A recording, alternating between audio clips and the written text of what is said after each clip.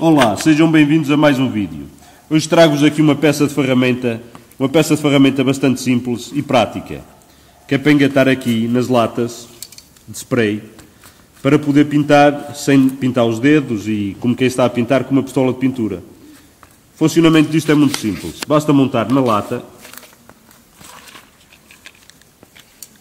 encaixar, dá ali meia volta, está fixo. Convém terem atenção para o bico ficar virado para a frente.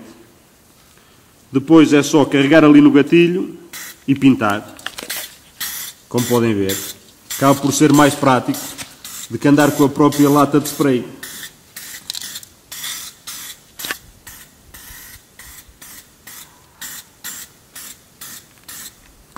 Pronto, por hoje é tudo. Espero que tenham gostado mais um vídeo. Não se esqueçam se gostaram, deixem o vosso like, subscrevam o canal e até uma próxima.